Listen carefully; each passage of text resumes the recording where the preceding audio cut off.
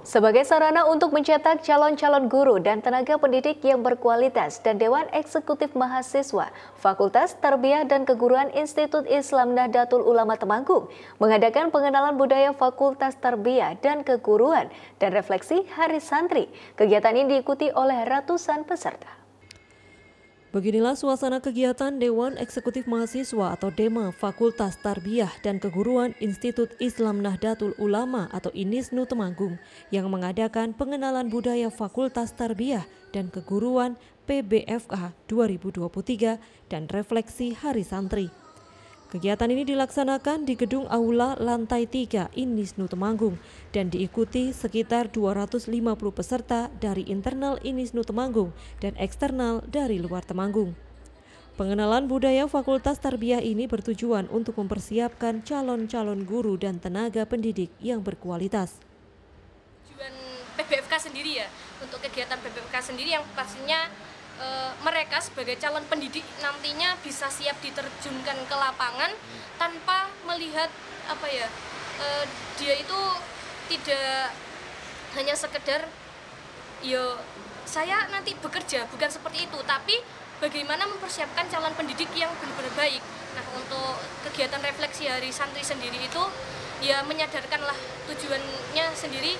Salah satunya e, kembali lagi biar mengenang sejarah karena seba, sebaik apa pun kita saat ini karena kita berlatar belakang dari sejarah seperti itu. Nah kemudian refleksi dari santri ini juga salah satunya agar mewadahi santri-santri itu biar e, mereka tahulah e, bagaimana problematika di dunia sekarang ini apalagi di era digital. Dalam pengenalan FTBK dan refleksi Hari Santri dihadirkan dua narasumber dari praktisi nasional, yaitu Gus Rifkil Muslim Suyuti dengan tema tantangan dan peluang bagi calon guru dan tendik dalam memajukan pendidikan Islam.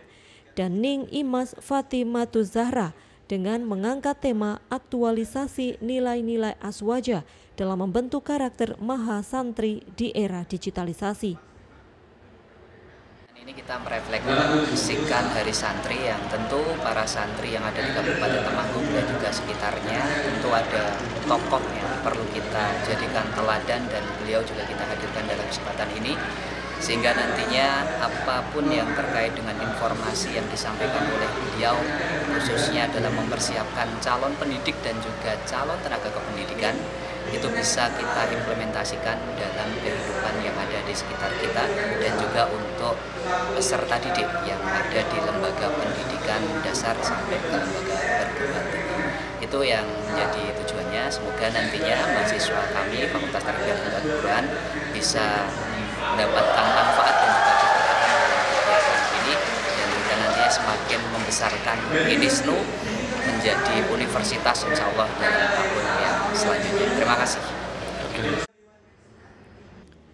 Diharapkan dengan adanya refleksi Hari Santri dan mendatangkan pemateri-pemateri dan praktisi nasional dapat menambah pengetahuan bagi para peserta dan dapat memberikan dampak yang positif.